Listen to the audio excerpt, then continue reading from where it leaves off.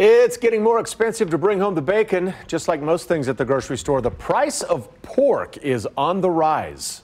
In the past two to three months, it has done nothing but go up, and it hasn't been by cents, it's been by dollars. But don't blame inflation. That's part of it, yes, but you can also point the finger at a new state law in California. It requires farmers to give pigs more space while they're growing. That means farms will have to expand or cut production. And remember, much of America's pork comes from California.